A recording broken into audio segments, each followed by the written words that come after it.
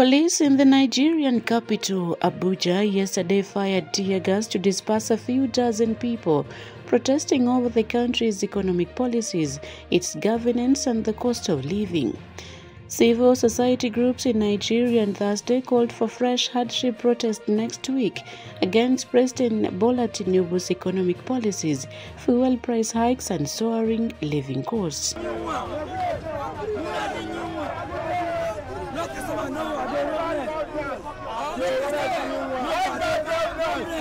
They have called for a nationwide rally on October 1st, coinciding with the anniversary of Nigerian independence 64 years ago.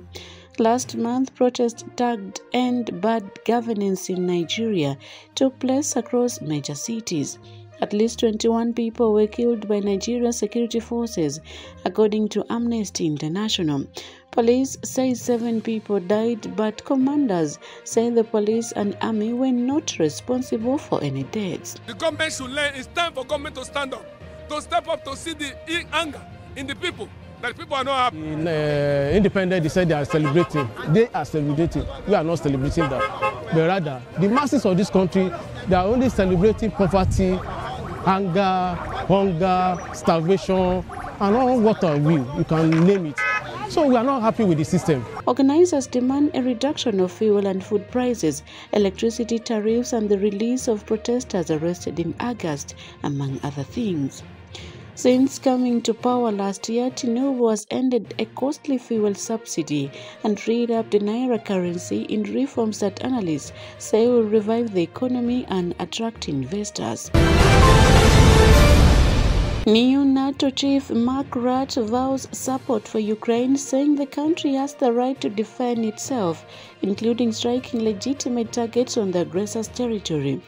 Speaking in a press conference on the day he assumed leadership of the alliance, Rutte credits former US President Donald Trump with an increase in defense spending in Europe, doubling down on earlier comments that he was not worried by the outcome of the upcoming US presidential election, in which Trump could return to the White House. Let's not forget Ukraine is fighting a war of self defense.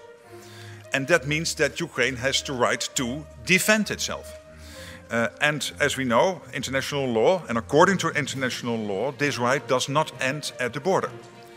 Uh, so that means uh, that supporting Ukraine's right to self defense means that uh, it is also possible for them to strike legitimate targets on the aggressor's territory. The former Dutch Prime Minister steps into the role at a pivotal moment as Russia presses its war in Ukraine, China flexes its growing might, and just weeks before US voters choose a new leader. Early yesterday, the Israeli military said troops had started targeted ground raids in South Lebanon across Israel's northern border, though officials have provided few details on the scale of the operation or its timeframe.